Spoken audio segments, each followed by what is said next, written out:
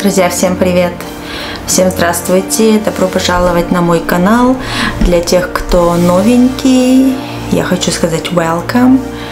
Здравствуйте, проходите, садитесь, смотрите с удовольствием. Для тех, кто уже со мной какое-то время, я хочу сказать спасибо, что смотрите меня. Я очень ценю это.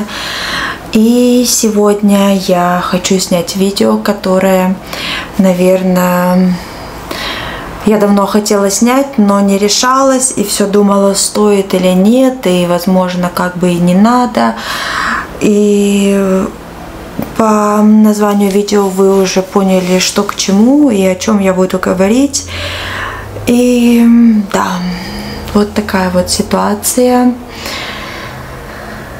Начнем, наверное, с того, что многие из вас заметили, что я выкладывала ролики постоянно, потом вдруг я пропала, потом опять появилась, как бы так урывками.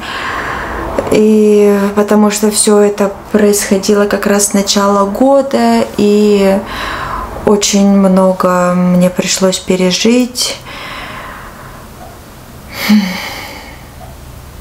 Начнем, наверное, с того, что мы с мужем планировали четвертого ребенка, чтобы разница была с предыдущим, то есть с Бенджамином, с мальчиком с нашим, примерно два года. И я забеременела в феврале. И я была очень рада, конечно же, этому. Все были очень рады.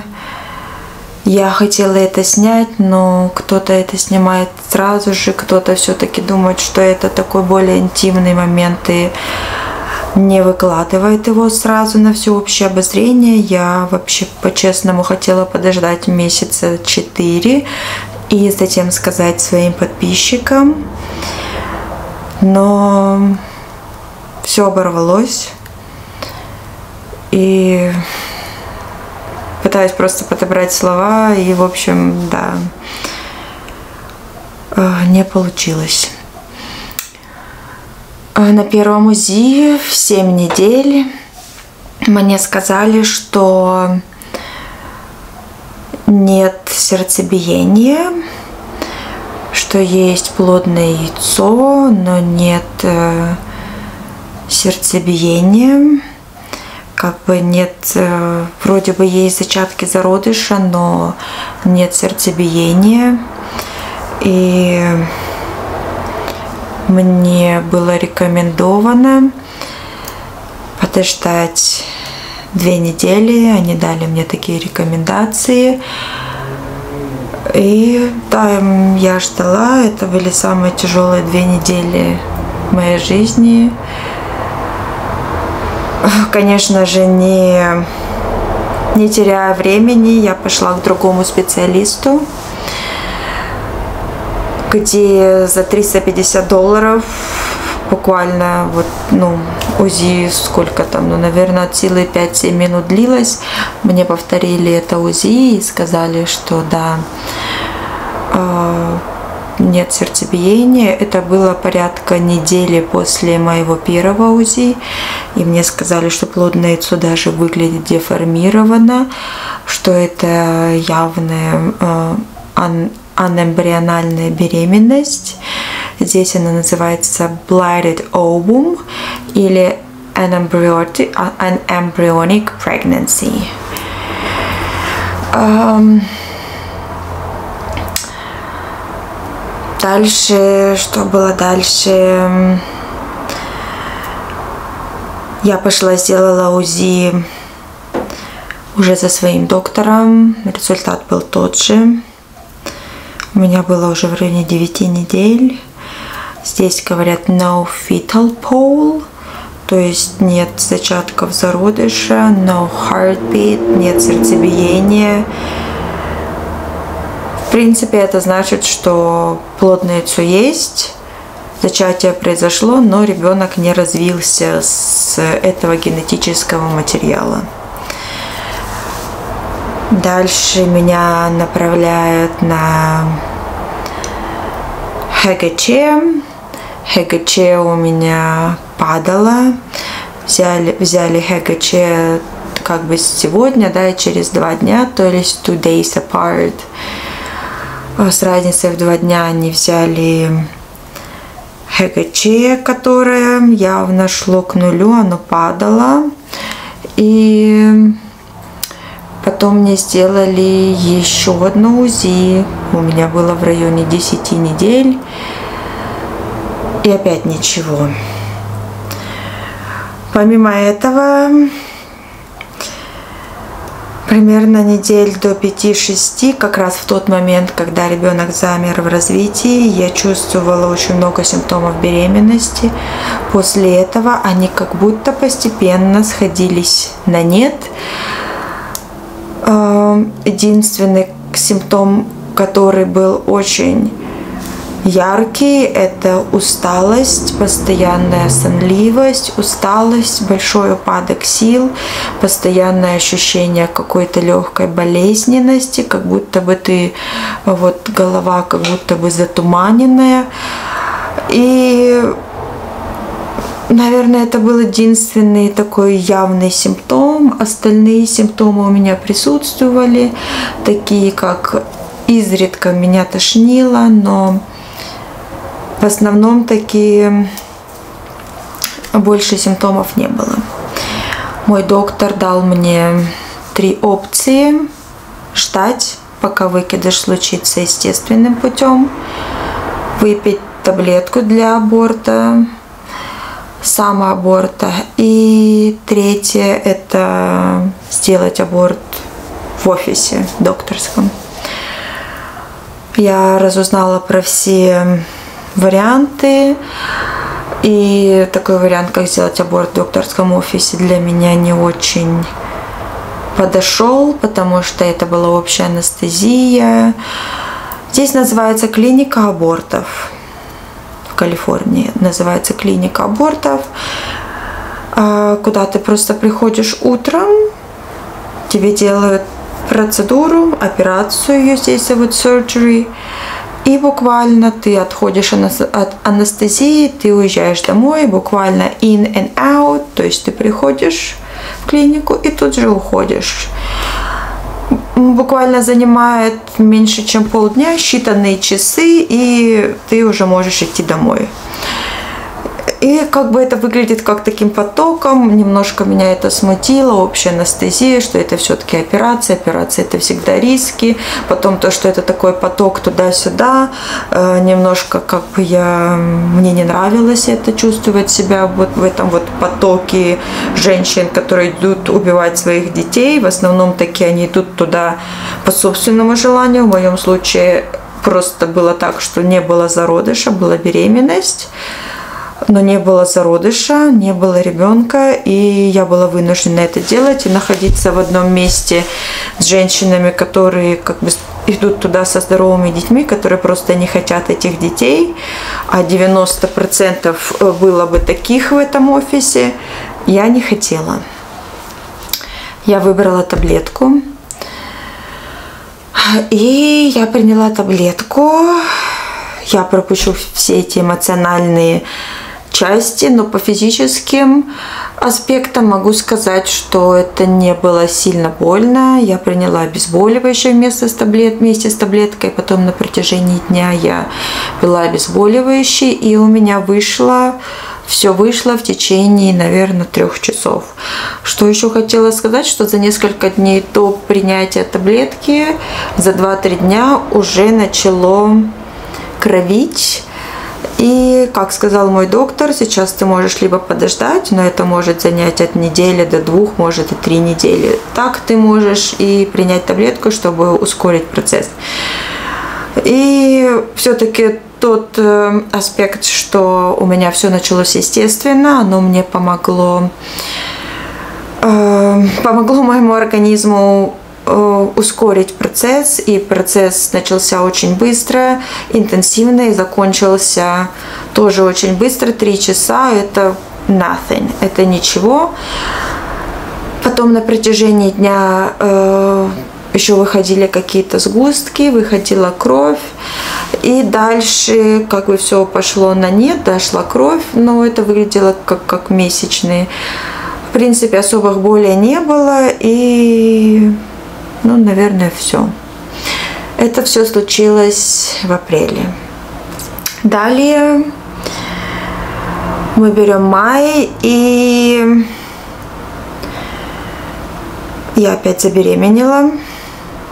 Я узнала о беременности за пару недель до поездки на море, на Карибское море, на Ямайку. И я позвонила своему доктору, которая сказала, что я могу ехать, там безопасно. Единственное, что не носи ничего тяжелого, не поднимай никакие чемоданы и веди такой как бы, ну, спокойный образ жизни, все спокойно, плавно и как бы вот так аккуратненько.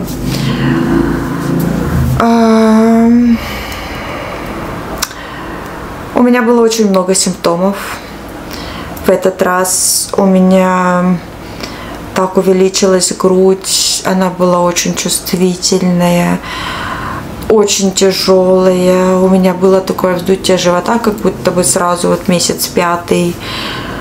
У меня был просто дикий аппетит, э, усталость, это просто вообще стопроцентная. Постоянно хотела спать, постоянно хотела есть. И другие симптомы беременности не прошли стороной. Было в принципе все. И прям вот так очень интенсивно, пока я была там в поездке. Э, в поездке я была очень аккуратна, очень сейф, очень я так все делала прям так вот с пристрастием ко всему относилась. И мы приехали домой. У меня было в районе 6 недель. 8 недель я пошла на УЗИ чувствуя, в принципе, очень много симптомов беременности. Единственное, что, наверное, аппетит был не таким ярко выраженным, каким он был до этого. Но я не придавала этому значения. Все остальные симптомы, а главное из них это просто усталость нечеловеческая какая-то. И вот моя грудь, она и так по природе большая, но здесь она увеличилась просто до таких каких-то баснословных размеров, что я прям такая, все классно, все вот прям должно быть хорошо. Они проверяли мой ACG, это ХГЧ по приезду. У меня там было что-то, оно немножко по-другому измеряется. Э, я смотрела в русских э, чатах, это немножко другие цифры, но на 6 недель, когда я приехала, мое ХГЧ было в районе 18 тысяч они сказали, что это прям ну, классно, да, они его измеряли, потом еще через два дня оно пошло хорошо в рост, и они сказали, ну вот все классно, да, мой доктор мне звонила, поздравляла, говорила, все должно быть классно, все выглядит классно, иди на УЗИ, проверяй ребенка, сердцебиение, все, давай, удачи. И дальше случается один в один. Нету признаков зародыша, нету сердцебиения есть плацента, есть плодное яйцо, плодное яйцо росло. В отличие от первой беременности, которая была неудачная, там тоже росло плодное яйцо, но потом оно остановилось в развитии. Здесь оно росло просто вот сколько должно было быть недель, оно росло так же вот, как вот и должно было быть. Оно и выделяло гормон беременности вместе с плацентой. Но ребенка там не было. Меня направили на УЗИ через неделю. Та же самая ситуация. Плодное яйцо еще выросло. Оно было уже такое большое, значительное в размерах, но, плод... но помимо плодного яйца нету зародыша. Нет сердцебиения. Ну, ничего нет. На тот момент мои симптомы начали уходить на нет. Уже где-то в 9 недель, да, они стали сходить на нет. И дальше доктор решает проверить, э, как ведет себя мой ХГЧ. На протяжении недели я сдавала ХГЧ. То есть было уже 10 недель, когда мой доктор мне позвонила и сказала, здесь уже нет смысла ждать, если ты хочешь, мы подождем. Ну, как бы здесь все понятно, что история повторилась, и, к сожалению, у тебя вот, как обычно, три выбора. Ждать естественный эм, miscarriage, это выкидыш, выпить таблетку и идти на борт. Конечно же, я сказала, что э, давайте таблетку, потому что я была не готова к аборту такому физическому, к операции. И мой доктор, кроме этого, сказала мне, что твой организм уже знает, как это делать, как избавляться от беременности, поэтому с высокой долей вероятностью таблетка тебе поможет, и все будет как бы хорошо, все пройдет гладко, не переживай. И на этот раз я приняла таблетку, уже было почти 11 недель, буквально без одного или двух дней. И немножко по другому сценарию все пошло первый день после приема таблетки почти ничего не вышло. В основном таки кровь и немного ткани. Потом проходит еще один день, я звоню доктору, говорю, доктор, ну вот что-то таблетка не помогает. Она говорит, подожди, дай своему организму время, 4-5 дней. Если через 4-5 дней ничего не будет, я дам тебе повторную таблетку. Я спрашиваю, сколько таблеток можно выпить максимум. Она говорит, два раза. Один раз ты уже выпила, второй раз, если надо будет, я тебе дам через 4-5 дней. Если это не сработает, то уже ты идешь на операцию. Она говорит, ну с высокой долей вероятности после второй таблетки все выйдет, и вообще давай подождем, посмотрим, как это будет. Она была права, буквально через два дня после принятия этой таблетки у меня стало все выходить, процесс случился, и дальше уже все пошло на нет, дошла кровь, но очень немного. Через 10 дней после приема первой таблетки, да, первой единственной, после этого дня мне сделали УЗИ, сказали, что все хорошо, мне уже два раза проверили ХГЧ, он идет вниз. На УЗИ сказали, что как бы все ткани вышли, все хорошо. УЗИ они обязательно делают. И после того выкидыша в апреле мне тоже делали УЗИ, сказали, что все вышло. И Сейчас мне сделали УЗИ сказали, да, что все вышло, еще продолжают делать ХГЧ. Как только ХГЧ будет 0, то есть можно считать, что все закончилось. На данный момент я две недели post taking abortion pill, две недели после принятия э, таблетки для самоаборта дома. И I'm okay я более-менее окей, более или менее. Конечно, так это вот я об этом рассказываю как бы быстро.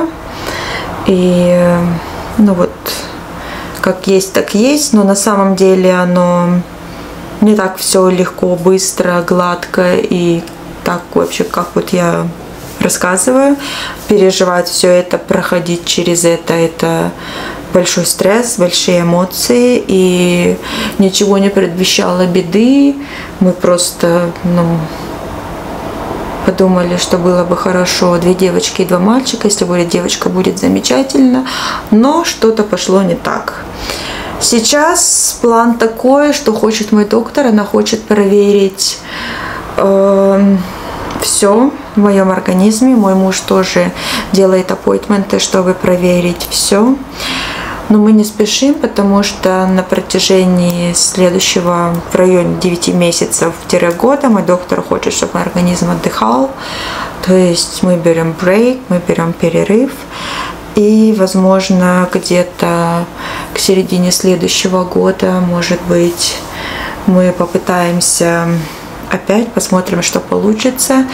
Но на данный момент э, я буду проходить ряд тестов, ряд анализов, выяснять причину, что происходит в моем организме, что случилось после трех беременностей, потому что я в конце 2020 года родила Бенджамина, и я считаю, что ничего такого сверх эм, такого вот прям вот неординарного, да, вот со мной не произошло. Почему так случается, нет понятия. Поэтому для тех, кто думает, что вот они как кошки плодятся, да, вот там многодетные семьи или вот там бездумно рожают, на самом деле это не бездумное все.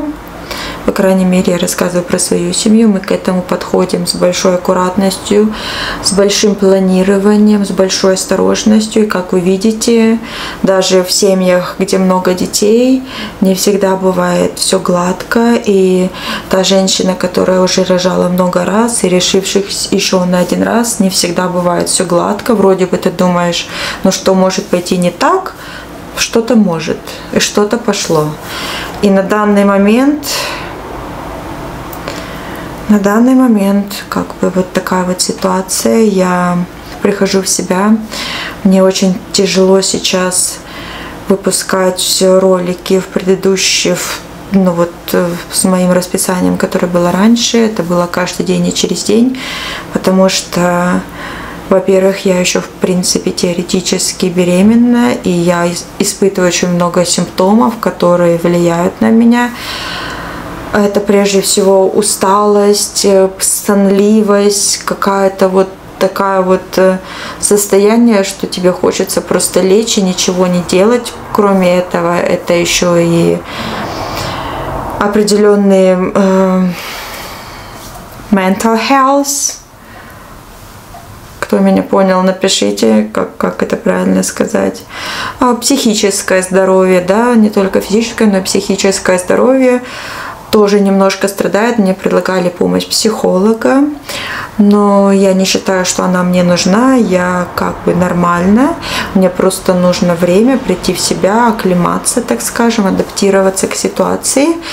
Но такой симптом, как постоянная усталость, такое вялое состояние, вяло текущее, оно длится у меня что ту беременность, что сейчас, и я знаю, что оно продлится еще, ну, как доктор сказал, может быть, месяца полтора-два после того, как все закончится, как бы каждый организм адаптируется и восстанавливается по-разному. Кроме того, мой доктор сказала, что да, конечно, питание надо пересмотреть, но я и так питаюсь, стараюсь питаться очень правильно. Фрукты и овощи всегда в моем рационе.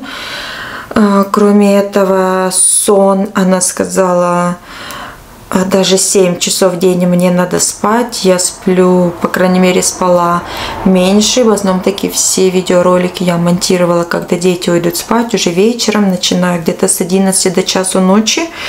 Я монтировала и Каждый день я просыпаюсь в 6, у меня будильник, потому что дети, школы, занятия. И, в общем, да, мне надо вставать в 6 каждый день, кроме воскресенья. В воскресенье дети обычно просыпаются в районе 7, я поднимаюсь в 7.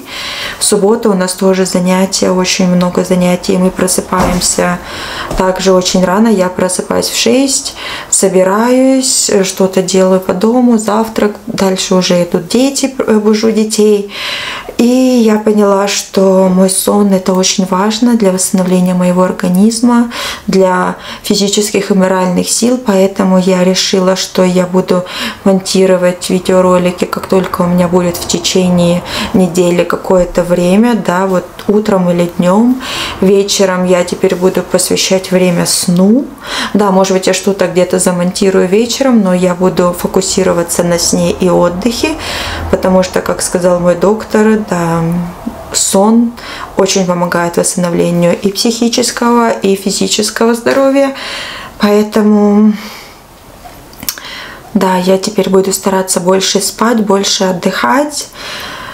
И данный этап моей жизни закрыт, то есть пока мы не планируем четвертого ребенка, пока я буду проверяться, и муж тоже хочет провериться, и если все будет хорошо, то через год, возможно, мы попробуем, но я ничего не загадываю, нельзя загадывать на так долго в нашем меняющемся мире, поэтому на данный этап на данный момент моей жизни как бы я ставлю период, я ставлю точку и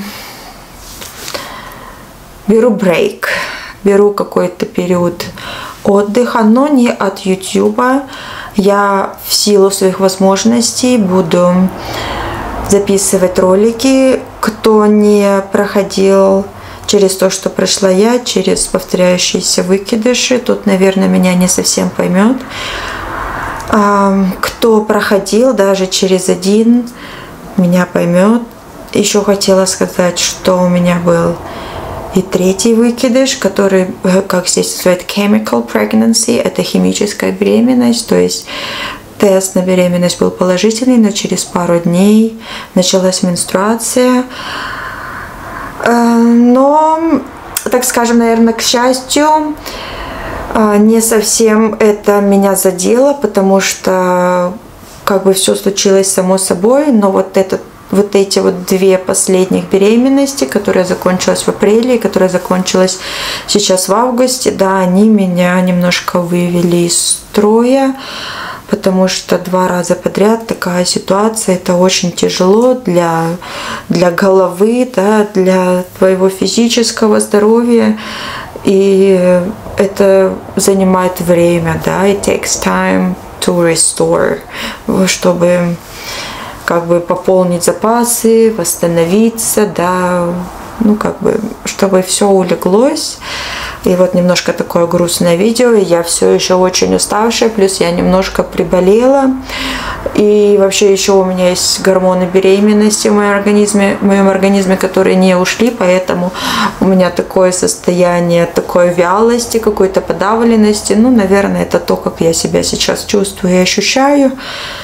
Я со с моим, с моим гинекологом постоянно в контакте каждую неделю, и мы постоянно созваниваемся, мы постоянно на связи, мы постоянно делаем тесты, УЗИ, ХГЧ и обсуждаем эту ситуацию. Она меня поддерживает, и мы обязательно найдем план, как сделать так, чтобы все-таки все получилось. Я не очень бы хотела, чтобы вы меня спрашивали время от времени, там, как ситуация с четвертым, потому что это очень щепетильная тема, очень sensitive topic. И, наверное, если все получится, как я уже говорила, э, спустя какой-то момент времени я сама все скажу, но хочу вам сказать, что это будет не в ближайший год и даже, наверное, может быть и полтора, Поэтому, как только все будет, я все скажу, не сразу, но я обо всем расскажу.